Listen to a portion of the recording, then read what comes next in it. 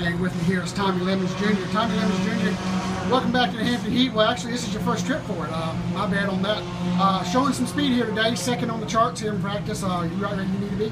Um, I feel like we we are. You know, I feel like that uh, mock run right there at the end of practice was uh, pretty close to what we can run. I think we could have been a little bit better, but uh, you know, we'll see here in a couple hours go from there. Yeah, I know you're kind of looking forward to getting some laps in this uh, last trip here to Langley Speedway. You sat on the pole and obviously know your way around here, man. And uh, of course, we're expecting you to do well tonight. Uh, I guess uh, you're certainly looking to have a good run yourself. Yeah, um, you know, the track's definitely different from the first time with the new patch in the middle of the corners on both ends. But uh, you know, we uh, we struggled with the car a little bit. Uh, we got it handling pretty decent today, though. I feel like we got a pretty good shot here tonight. That's Tommy Lemons on his uh, day so far here at Langley Speedway.